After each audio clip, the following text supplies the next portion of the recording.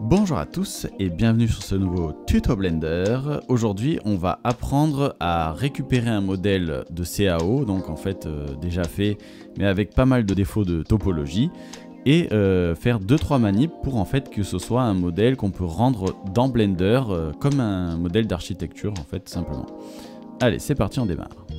J'ai importé une chaise que j'ai modélisée sur mon téléphone et on va voir comment est la topologie. Donc là si je la sélectionne et que je vais dans mode édition, en fait, euh, je fais Select, ensuite All by Threat et Non-Manifold. Et là, en fait, on voit que toutes les faces sont sélectionnées parce qu'aucune d'entre elles n'est reliée. En fait, euh, si on sélectionne les points et qu'on les fait bouger, eh on voit qu'il y a des trous euh, partout. En fait, aucune face est reliée entre elles. Donc ça, déjà, c'est un classique dans les dans les modèles de CAO. On va voir comment on corrige ça. Donc en fait, je sélectionne tout avec A, ensuite je fais clic droit et merge vertice by distance. Et là, en fait, on voit que j'ai supprimé 464 vertex. Donc on va augmenter euh, en fait la distance de fusion pour être sûr que tout est fait. Et voilà, regardez, encore 464 vertex qui sont reliés. Donc on va bientôt rectifier le problème euh, d'orientation des normales. On retourne d'abord dans le mode édition et en fait on va transformer les triangles en face carrée, donc tri to quad.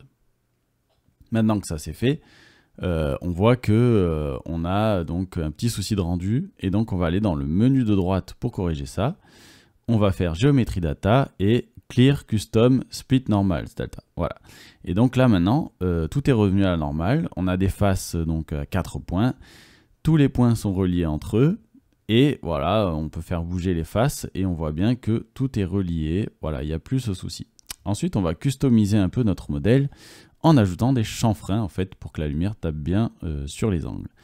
Donc on sélectionne les arêtes, voilà, on fait un angle, on sélectionne un angle et ensuite on va aller dans Select, Select Similar et donc dans Face Angles.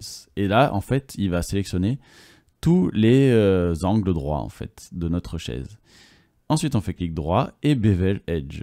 Et là, voilà, c'est magique. On a déjà euh, tous euh, nos angles qui sont chanfreinés. Donc voilà.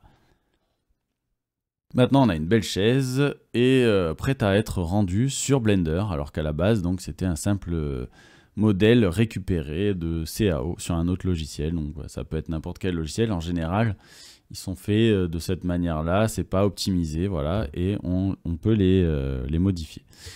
Voilà, c'est déjà la fin de ce tutoriel. J'espère que ça vous a appris quand même quelque chose. Donc c'est deux trois petites manips, des petites astuces sympas. On va revenir bientôt pour des nouveaux tutos Blender, donc euh, avant Noël.